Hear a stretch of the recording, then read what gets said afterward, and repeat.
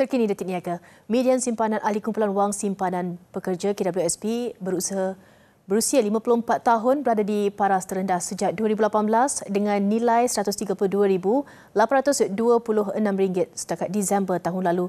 Laporan tahunan 2022-nya mendapati terdapat 568,963 pencarum aktif berumur di antara 51 dan 55 daripada jumlah keseluruhan 8.39 juta ahli. Jumlah ahli yang mendaftar turut menunjukkan peningkatan pada 15.72 juta. Bilangan ahli baru yang mendaftar juga merekodkan lonjakan 50%. Berdasarkan perkembangan ini, KWSP menyarankan para simpanan asas RM240,000 apabila mencapai umur 55 tahun. Ia berdasarkan anggaran nilai RM1,000 sebulan yang diperuntukkan bagi tempoh 20 tahun persaraan.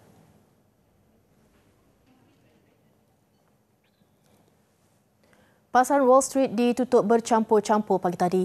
Indeks Dow Jones melonjak lebih 500 mata ke paras tertinggi bulanan. Manakala S&P menunjukkan prestasi positif susulan data inflasi dan jualan yang memberangsangkan.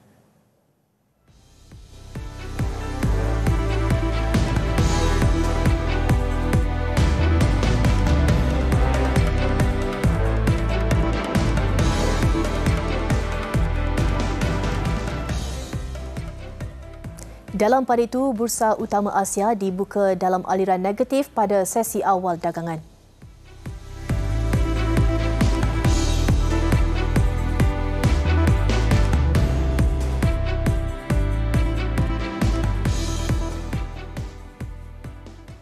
Bursa Malaysia dibuka rendah pada sesi awal dagangan hari ini. Pada jam 9 pagi tadi, indeks FBM KLCI turun 1.09 mata kepada 1451.65.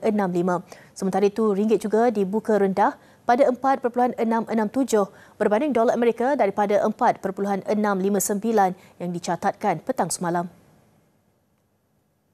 Dengan itu sekian laporan detik niaga. Salam hormat.